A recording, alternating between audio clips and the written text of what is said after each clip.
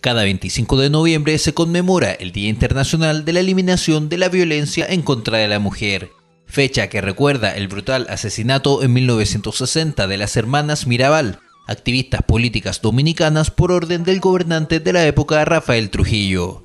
A contar del año 1993, la Asamblea General de las Naciones Unidas invita a los gobiernos, organizaciones y diversos actores a realizar campañas para sensibilizar a la ciudadanía es por esto que el Servicio Nacional de la Mujer y Equidad de Género desarrolló durante esta jornada en pleno paseo peatonal de la ciudad de Talca una puesta en escena con casos de femicidios y femicidios frustrados registrados a la fecha. Es una actividad que lo que busca es concientizar sobre la violencia hacia, hacia, las mujeres y apoyar a las mujeres que están viviendo violencia en ese sentido, no culpabilizarla ni responsabilizarla de los hechos de violencia, sino que decirle a la mujer que está viviendo esta situación que existe una red de apoyo, que la puede orientar, que la puede guiar. En lo que va del año, a nivel nacional, 38 mujeres han perdido la vida tras ataques sufridos por parte de sus parejas y exparejas, y 85 han sobrevivido a situaciones similares realidad que nos ajena en la región del Maule que durante el 2017 ha registrado cinco femicidios frustrados y tres consumados, dos de ellos en Molina y uno en San Javier.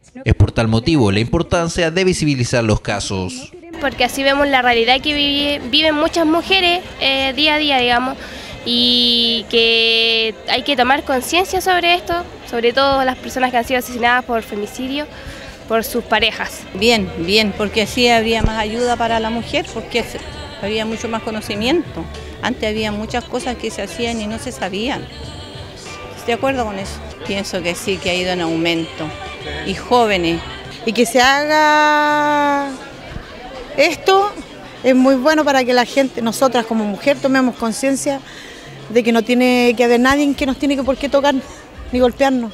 Generar conciencia, tanto en hombres como mujeres, para terminar de una vez por todas con la violencia tomar medidas en contra de estos hechos, acompañar y apoyar, además de denunciar los casos al Fono Familia 149, son parte del trabajo que se busca potenciar. Es una atención preferencial, como usted bien lo dice, hoy en día hay mucha violencia intrafamiliar, entonces ese fono es exclusivamente para atender casos de violencia intrafamiliar.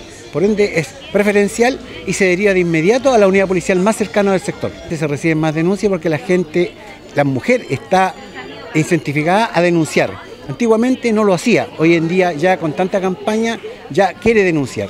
Cabe destacar que en el caso del Maule existen siete centros de la mujer ubicados en Curicó, Molina, Talca, Cauquenes, Constitución, San Javier y Parral, conformados para apoyar a las víctimas de violencia, además de centros de hombre para brindar apoyo psicosocial a los victimarios y así combatir por ambos frentes esta problemática a nivel país.